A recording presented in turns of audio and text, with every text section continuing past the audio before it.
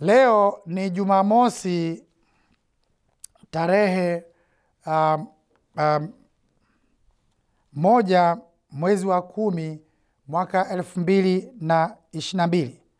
Tunasherekea sikukuu ya Mtakatifu Teresia wa mtoto Yesu. Masomo yetu ya leo, somo la kwanza natoka kwenye kitabu cha Ayubu sura ya arobaini na mbili aya ya kwanza hadi ya tatu sura aya ya tano hadi ya sita aya ya kumi na mbili hadi ya kumi na saba na somo la Injili natoka kwenye kitabu cha mwinjili Luka sura ya kumi aya ya kumi na saba hadi ishirini na nne. Tusikilize somo la Injili.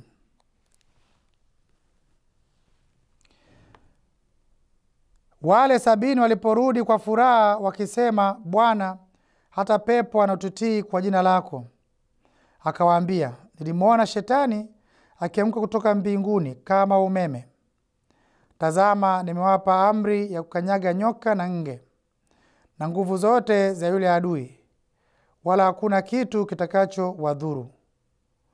Lakini msifurahi kwa vile pepo wanavyowatii, bali furahini kwa sababu majina yenu yameandikwa mbinguni.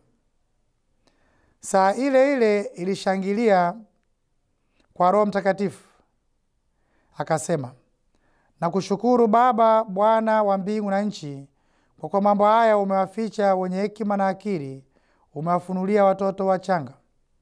Naam Baba, kwa kuwa ndivyo ilivyokupendeza. Akasema, nimekabidhiwa vyote na Baba yangu, wala hakuna mjuaye mwana ila Baba, wala hakuna mjuaye Baba ila mwana, na yoyote ambaye mwana apenda kumfunulia. Akawageukia wanafunzi wake akasema nao kwa faraga, heri macho yaonayo mnayoyaona ninyi, kwa kuwa nawaambia ya kwamba manabii wengi na wafalme walitamani kuyaona mnayoyaona ninyi wasiyaone, na kuyasikia mnayoyasikia ninyi wasiyasikie. Neno la Bwana. Mpendwa msikilizaji na mtazamaji Tumaini Media, leo hii wapendwa katika Kristu, tunajifunza katika somo la Injili mambo makuu matatu. Jambo la kwanza, tutambue na kuitumia mamlaka tuliyopewa. Tutambue na kuitumia, kuitumia vema mamlaka tuliyopewa. Katika Injili Yesu anasema wazi kuwa imetupatia ye mwenyewe binafsi ametupatia mamlaka ya kukanyaga nyoka na nge na nguvu zote za adui. Kama kweli tunatambua mamlaka tuliyopewa, haina maana sisi kuteseka na nguvu za giza, nguvu za uovu. Wakati mwingine tunateseka kwa kukosa maarifa na kuto kuamini. Leo tunakumbushwa kujitambua na kutambua nguvu ya sakramenti tulizopokea na tuishi kwa ujasiri bila hofu na kuitumia mamlaka hayo kupinga hila zote za adui, kila roho za kichawi na roho chafu hazina mamlaka juu ya mwamini ambaye na imani na Mungu. Ishi kishujaa na Yesu, nawe utakuwa na amani maishani mwako. Fundisho la pili ni majina yetu kuandikwa mbinguni.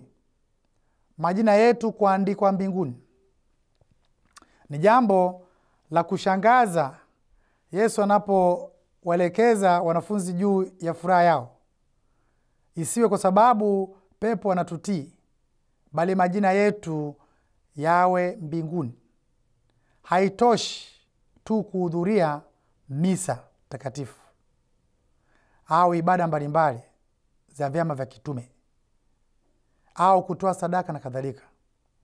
Imetupasa tuyafanye hayo kwa moyo na huku tukimpendeza Mungu, tukiziishi amri na sheria zake zote, ili majina yetu yaandikwe mbinguni.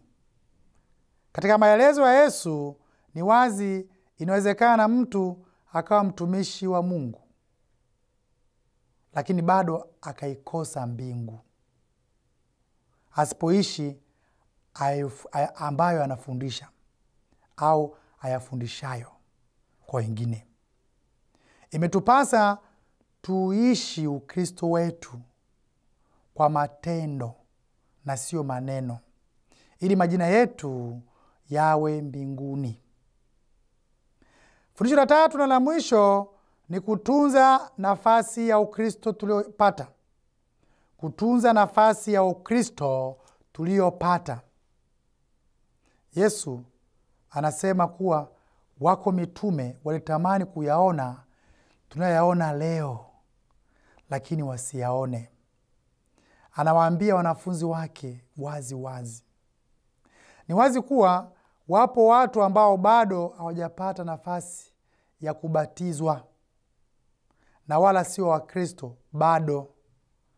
Hawajui neema iliyo katika Kristo, hajaonja kipawa cha Mungu, wanaishi gizani tu. Na kwenye dhambi tu za kila namna. Yesu anatuona heri sisi ambao tumempokea kwa njia ya ubatizo na kututaka sasa tutunze Ukristo wetu kwa kufanyika watoto wachanga, yaani utii na unyenyekevu, ambapo kumebeba mafunuo na baraka za Mungu katika maisha yetu.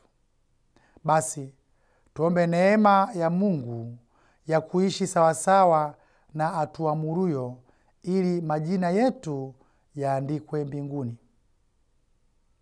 Tafakari leo imeletwa kwenu nami Padri Henry Rimisho, mwanashirika wa mitume wa Yesu na mwadhiri chuo kikuu Ardhi, Dar es Salaam. Tumsifu Yesu Kristo.